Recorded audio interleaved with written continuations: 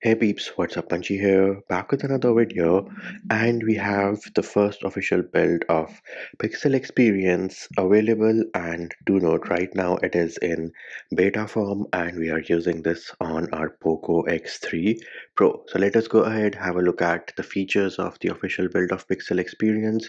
Of course, this is based on Android 13 so this is how the build comes out of the box. You do have your pixel launcher in the building and select works without any issues. Screenshot also works. If you want to share your screenshot you do have your quick share menu as well Animations, as you can see, are pretty smooth, something which has been expected of Pixel experience. No lag, nothing like that. Everything is pretty smooth and pretty fast. And this right here is at 120 Hertz. And if I were to switch between the application using the gestures, bam, here it is. No issues in that regard either. Next up, let us check out the power menu. So this is how the power menu is going to look like and do note dark theme is not enabled, but Google decided to go with dark colored quick settings and power menu in the light theme as well. So that is how it is on Pixel experience. Of course, you do have your power menu from the bottom of your quick settings panel as well. And similarly, you can access the settings menu also.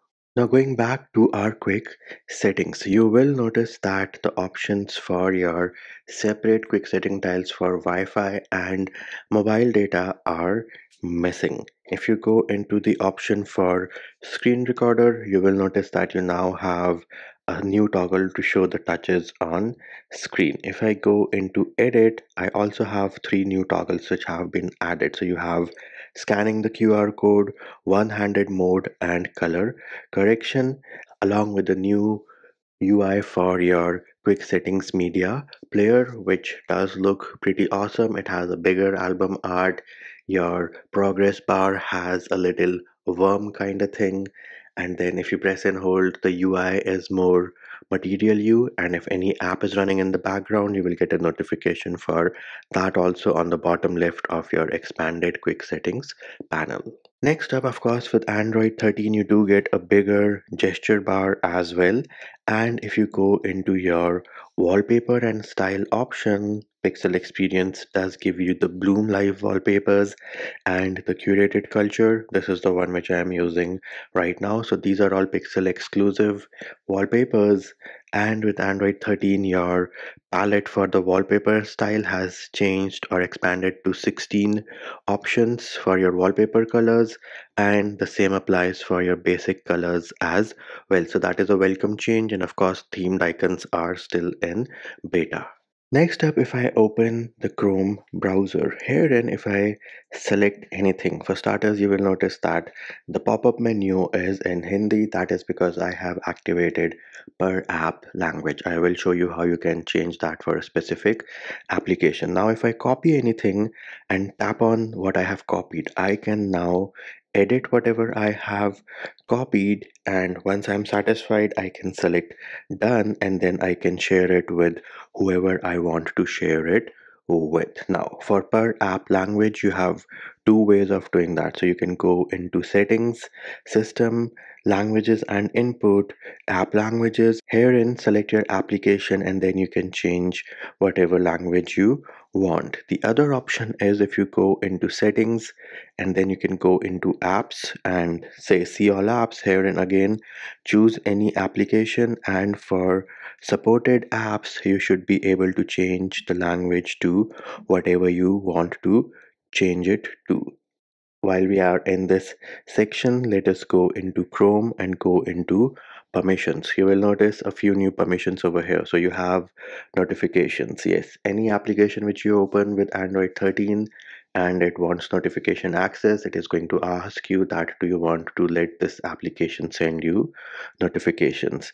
Then you also have something called music and audio and photos and videos. So these two have been separated and for file manager applications you will also see system wide file access. But now with android 13 due to this dividing your files into music and audio and photos and videos a music player does not need access to your photos and videos. So that is what they're trying to prevent. Now going back into the settings page, another change you will notice is that the search menu or the search bar in your settings is now pinned when you scroll through the settings page. Next up, we can jump over to the battery section now. here, Herein you will notice you have your per app thermal profiles available and these are the different options which you have.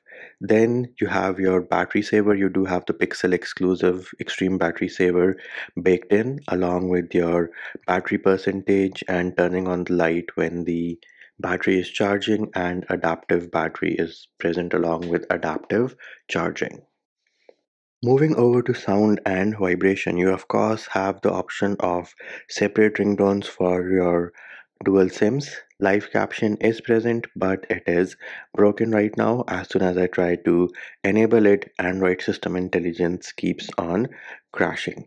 Then you have vibration and haptics. So you have your system wide vibration and haptics master toggle and you can also control the vibration at a granular level. So whether you want your phone to vibrate when you get a phone call or do you want to vibrate first and then ring, then you have toggles to control vibration for your notification, alarm, touch feedback and media. You of course have shortcut to prevent ringing so you can press power and volume up together to switch between vibrate and mute to go away from those you'll have to use your button here in your volume panel to switch between the different options.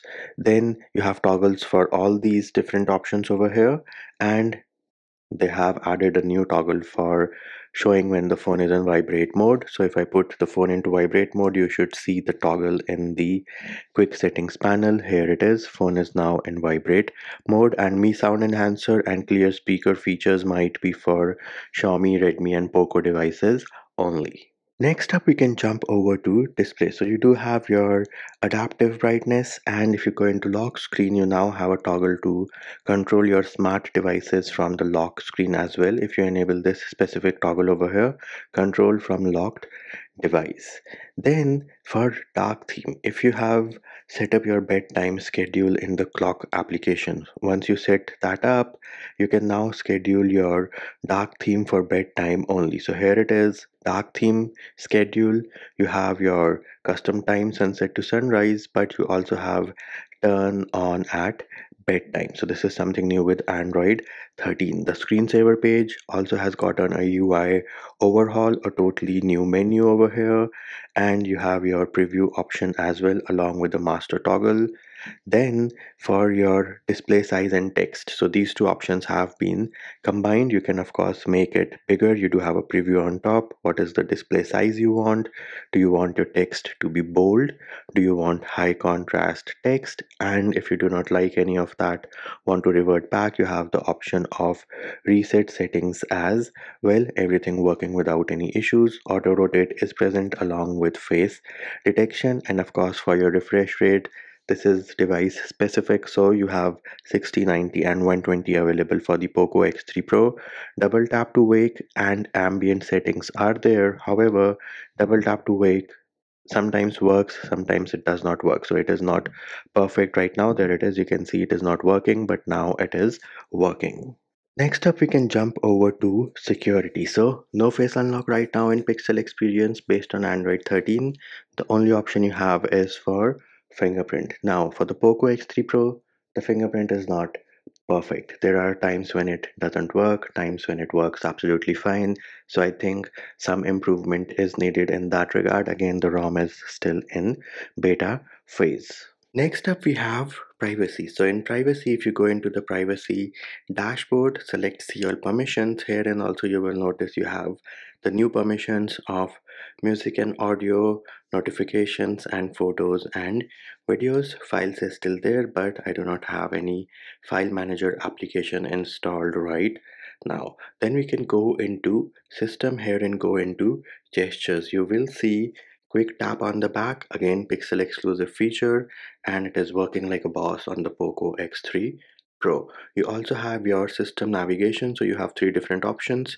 You have gestures and no option to hide the gesture bar. Two button navigation is there along with three button navigation. You can use whatever you want to use. One-handed mode is also present and it works without any issues. Then you have your press and hold power button customization in case you want to invoke the assistant. You can do that as well. And bam here it is working without any issues. Next thing we can talk about is safety net. So we have yet another safety net checker application over here. As you can see everything is passing without any issues. We can also head over to the google play store go into settings go into about bam here it is play protect certification device is certified. This means your banking apps should be working without any issues. With respect to youtube media playback everything works absolutely fine except for live caption but picture in picture works. There is no lag in the ui no stutter. Sound works absolutely fine. With respect to your assistant lady yes she is present and it works with the screen turned on and with the screen turned off as well. The assistant lady is there to help you out. With respect to your google photos yes you do have this special feature available in pixel experience. And one which is missing is magic eraser. So if I try to edit this picture go into tools the only option I see is blur. So pixel experience hasn't been able to implement magic eraser. They were not able to implement it with Android 12 either. Then if I go into a picture of my favorite football star try to edit the picture go into portrait mode I should have the option of portrait light in tools. So here it is. Portrait light feature present working without any issues. Similarly you also have the option of blur as you can see over here. The blur feature is also working without any issues. The same applies for your sky and color focus. So all those features working like a boss. So what is the final take on the official build of Pixel Experience based on Android 13 well this build right now is in beta form and as you did see there are some issues here and there but there have been no random reboots or anything like that. Everything is pretty smooth crazy fast animations are good gestures are good. So all in all a great ROM and of course because it is in beta you might have some device specific issues like for the Poco X3 Pro the fingerprint scanner is not the best right now. Double tap to wake has some issues and your live caption is not working properly. And that will do it for this video. Hope my video helped you. Likes shares and subscribes are appreciated. Feedback and comment more than welcome. See you when i see you